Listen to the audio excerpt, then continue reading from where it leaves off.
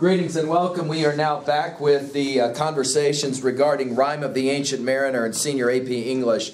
I want to make some general observations about this poem. I'm actually going to begin at the end, though, uh, and then we'll kind of work our way backwards. As I already said to you, this is one of those really classic texts in the history of literature that also became very popular. In other words, people saw this as both a classic text, but they also saw it as just a great entertainment read, especially if you've got a really good reader sitting around the fire in 18 plus, you know, reading this story out loud. It can freak out because of the potentiality of the uh, imagination or whatever. It can kind of freak out a reader.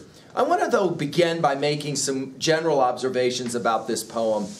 Let's begin by saying that there's kind of two types of poetry. One uh, is going to be a type of poetry that seeks to instruct. That is to say, a propaedeutic. In other words, when you finish the poem, you're supposed to understand something about the world.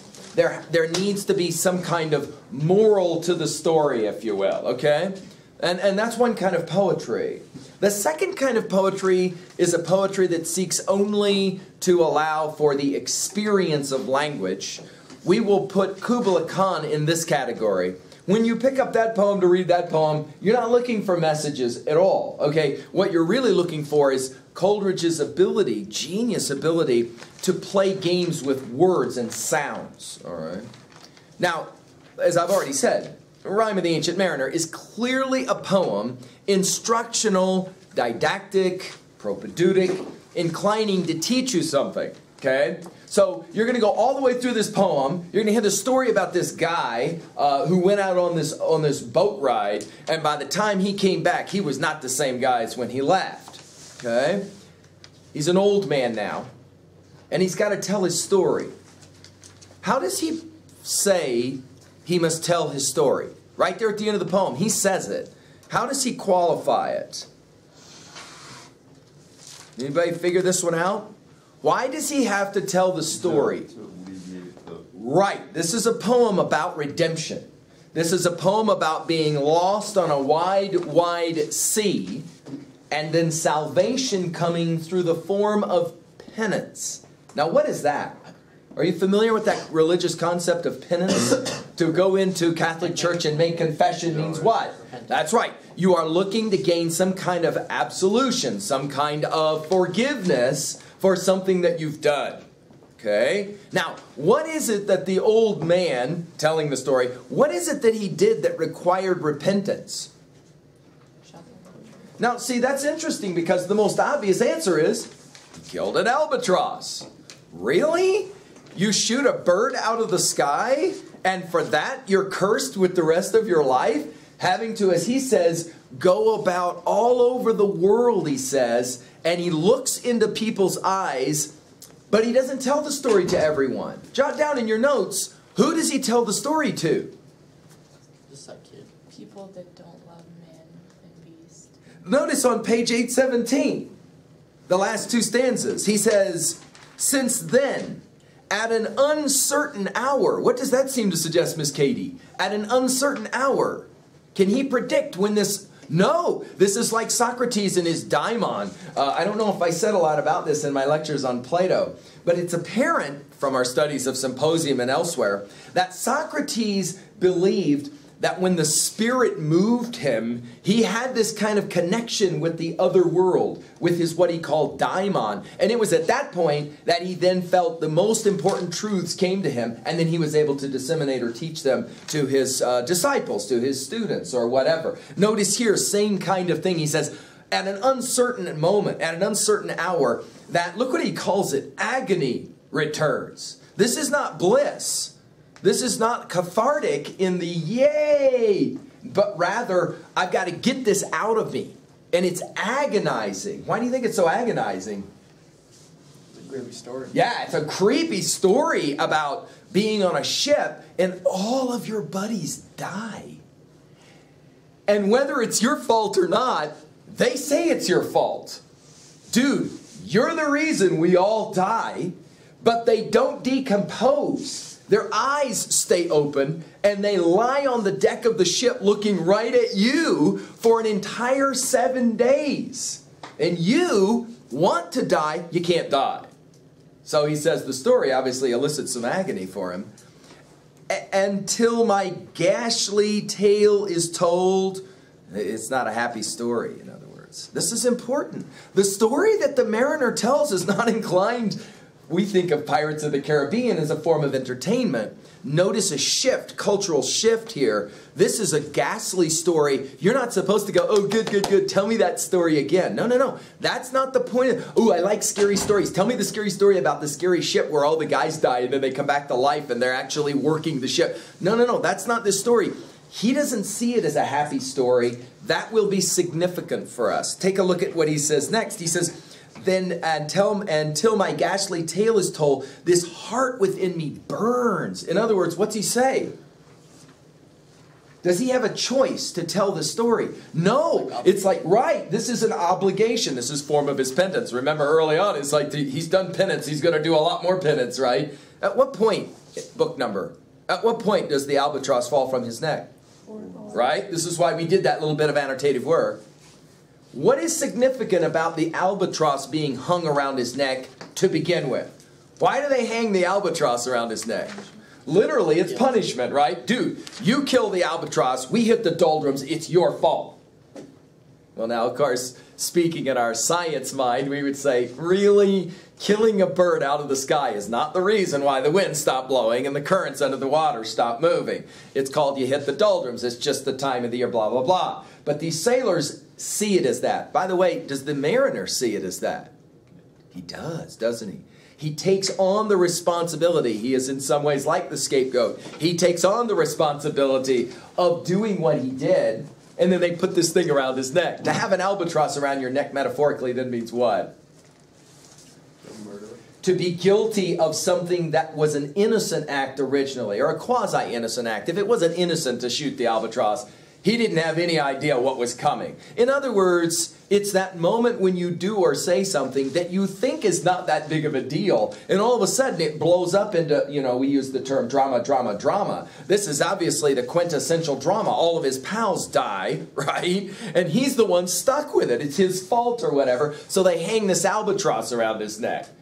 And part four why does the albatross fall and what leads to the falling of the albatross? Do you remember?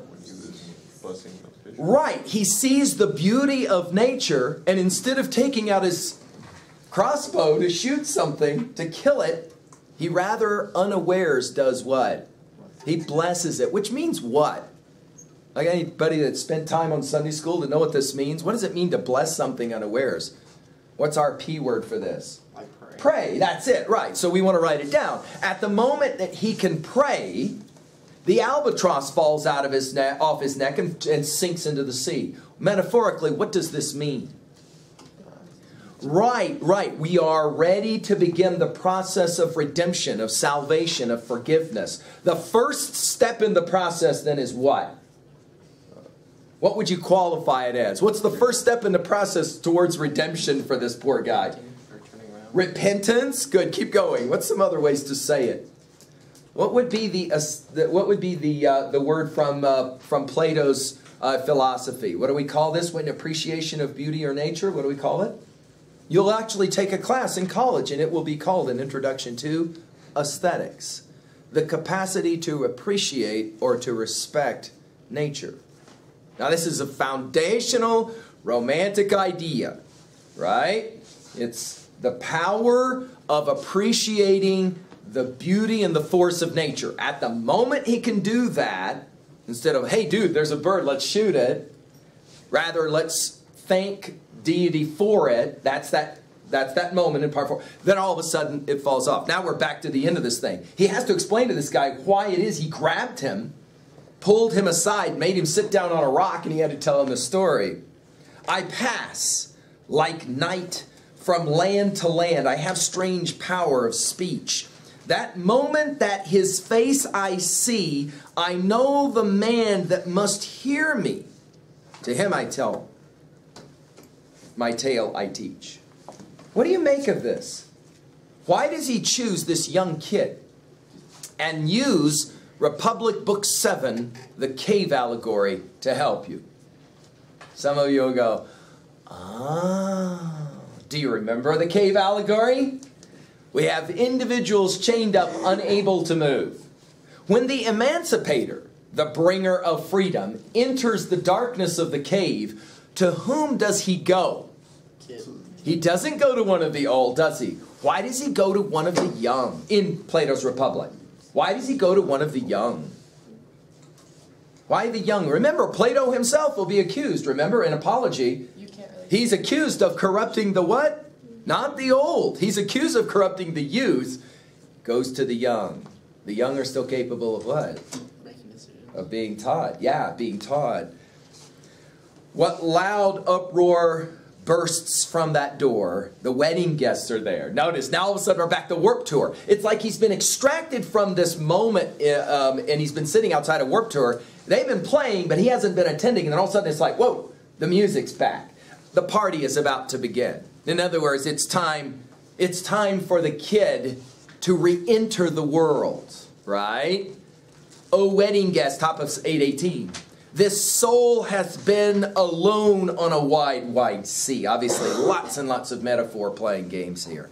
So lonely 'twas that God himself scarce seemed there to be.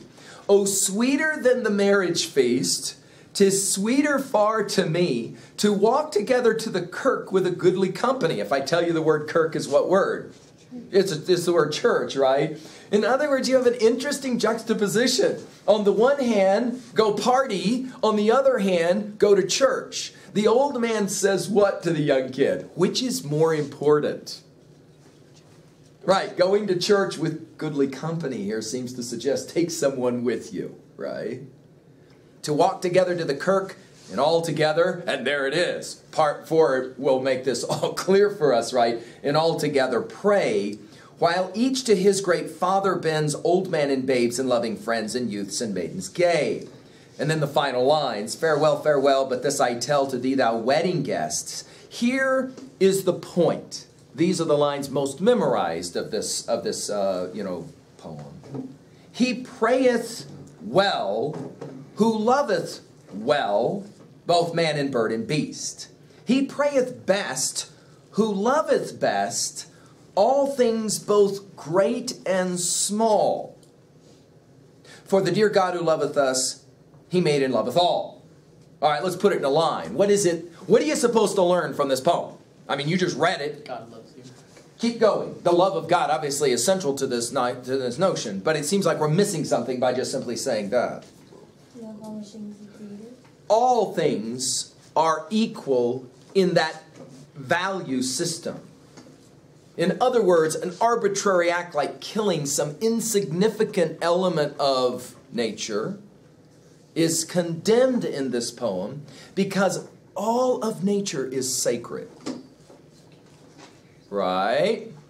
Right? So, obviously, the question is the taking of life in this poem is deemed then really significant. An arbitrary act like the taking of life has long term implications. Obviously, there are a lot of environmental reads of this poem. Long into the 20th century, this poem continues to be read as being evidence of that predictive voice, uh, prophetic voice of Coleridge. Come back tomorrow and we'll finish up. And I want to